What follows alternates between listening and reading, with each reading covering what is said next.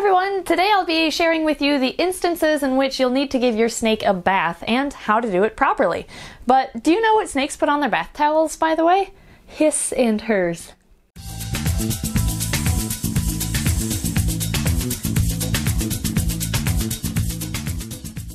There's really only four reasons to give a snake a bath. The first is if the snake is dehydrated. Baths will usually let them rehydrate themselves because they usually drink a little bit of the bath water. Second, if your snake is unable to go to the bathroom, a bath will kind of warm it up and get everything moving as the snake is moving around in the water, and that will stimulate it to go to the bathroom.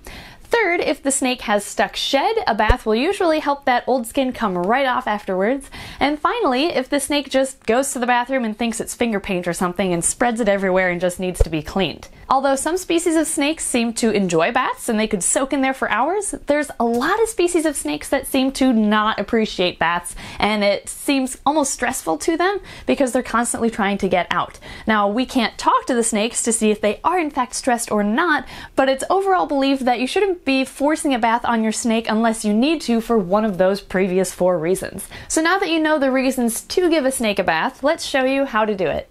Helping me out today is Candy Cane. This is our albino Nelson's milk snake that was gonna get fed to a cobra, but that's a whole uh, story for another day. Anyway, she doesn't technically need a bath today, but she's such a chill milk snake that she'll just help me illustrate how to properly give a snake a bath to you.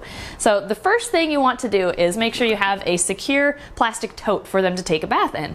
Uh, you can use Sterilite containers, any Tupperware container really. Of course you want holes drilled in the side, but you don't want the holes drilled at the bottom of the, um, of the tub because then the water's just gonna leak out. I have holes drilled on the top to make sure that nothing leaks out on the counter when she's in her bath. Another thing to keep in mind is to have a tub that has locks on the outside that actually hold down the lid because there's some styles of tubs out there that have a lid that just kind of clicks into place on top and those snakes are able to push the lids off of and escape and obviously you don't want that happening. You want the tote to be big enough for the snake to, you know, not feel squished and cramped of course, but not so big that they feel exposed and they don't feel secure anymore unless you want that snake to go to the bathroom. In that case, I would give them a tote that allows them to fully stretch out because it's those undulating movements of the snake that will kind of move everything around inside of them or just get things moving and then cause them to go to the bathroom. So for rehydration purposes and stuck shed purposes and just cleaning off the snake,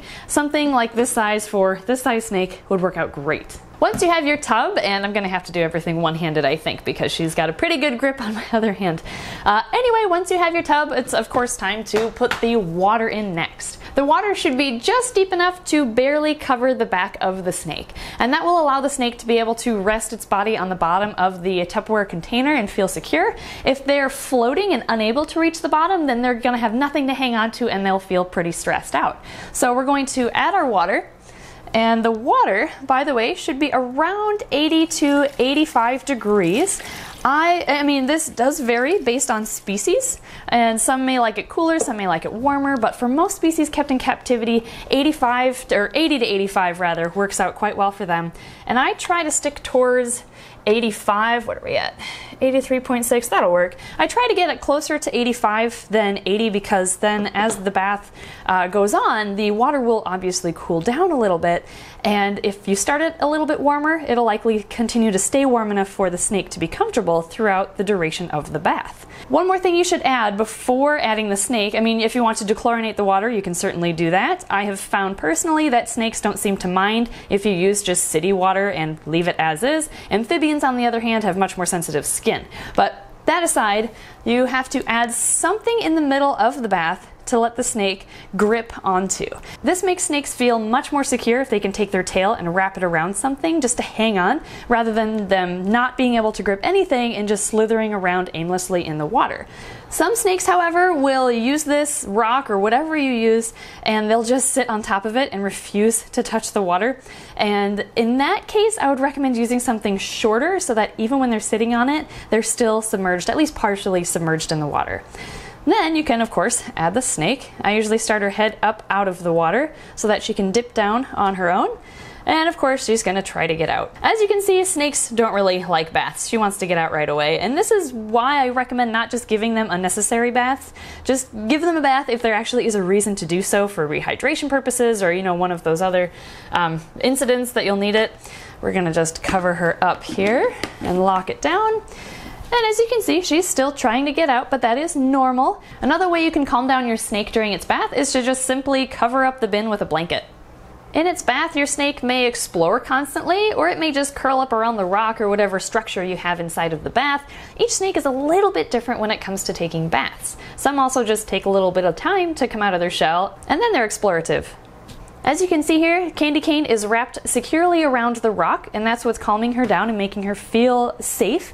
And that's why she's not freaking out inside of this bin. And if she didn't have this rock, I'm sure she'd be acting a little bit more stressed out. She'd be moving around a lot more and trying to escape. But since she has that peace of mind of holding on to that rock, she is much calmer. And as you can see here, she can be completely relaxed and still hold her head out of the water, which is a win-win. It keeps her happy because she's able to rest and still breathe, of course, and it makes me happy because she's still able to soak her entire body. Now, just for educational purposes, watch what she does and how she reacts when I remove this anchor. She has nothing to grab onto anymore. And she is con- see how much more active she became just instantly? She is not nearly as secure as she was before and she's trying to get out, trying to find something to hang on to. So I feel bad. I'll give her her rock back. There we go. Now that she's got her tail wrapped around the rock again, she's feeling safer, so she's not moving around trying to get out nearly as much. Once the snake is in the bin, the bath can last around 15 to 20 minutes. That's usually long enough to get the job done, whether it's to get stuck shed off or whatever else you need to get done, or what the purpose of that bath is. And after 15 to 20 minutes is also when the water temperature starts to drop, so before it gets too cold, you can remove the snake. After the snake has been in its bath for a couple of minutes is when you can add like liquid additives or medicines of sorts to the water. The reason why I don't recommend adding things right away is because snakes, usually when they're in the bath, the first thing they do is they drink a little bit of the bath water. So you don't want chemicals being in the water for them to drink unless it's like a medicine that you intend for them to drink. Two of the most common things to add to snake bath water would be first off, betadine solution. This is an antiseptic solution. It's a liquid form and you add this to to the water of a snake's bath to prevent infection of wounds and to promote faster healing of wounds and just keep them clean in general. If you want to learn more about how to use betadine solution, I actually recommend watching this video right here where we use this to treat snakes with burns all over their bodies. And I go more into detail on exactly how much of this to use and where to get it in that video. Another additive that people will use in snake bath water is Dawn dish soap, and this is usually only used for in the case of mites. Snake mites are an external parasite that wedge themselves in between the scales of the snake and they actually suck the snake's blood. And if they're not treated, they can cause very serious damage, if not death, in the snake. Now, baths in general, this is kind of Oops, one of the things I forgot to mention, one of the reasons why you can give a snake a bath is to treat for mites. You don't even necessarily need Dawn dish soap because just the process of putting the snake in the water and that snake being engulfed in water and being submerged will um, suffocate the mites themselves and cause them to fall off into the bath water. Now, some people will use Dawn dish soap and kind of very gently um, rub a small amount on the scales of the snake, kind of wipe them down, and then put them in the bath.